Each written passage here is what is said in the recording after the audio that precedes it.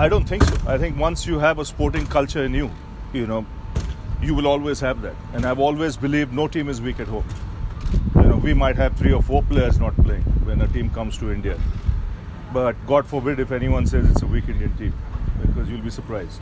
So similarly, you know, we are we're taking no prisoners. You know, we want to go out and put our best foot forward and focus on our game rather than what's happening outside. See, at the end of the day, you know, it's the cricket that talks. You know, I don't care if a McGrath or a Vaughan, you know, said something or didn't say something. They would have still taken wickets. You know, it's it's as simple as that. It's uh, you know, when when you're good at what you do, and if you can do it consistently, you know, it doesn't matter which side you're playing for, that cricketer will do well, and so will the team.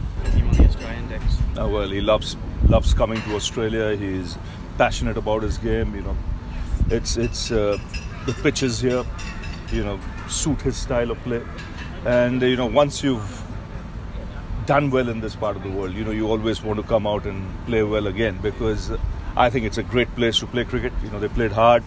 The the public, the sporting public, really appreciate you know good tough cricket. You know, it doesn't matter which side wins or loses, uh, as long as there's competition, as long as I've come to Australia, you know, I know the people love it. Approaches these, these, these games. Uh, he's, he's a professional now. He's, he's matured. You know, what you saw him four years ago, you know, he's played all around the globe since then. He's captained the side.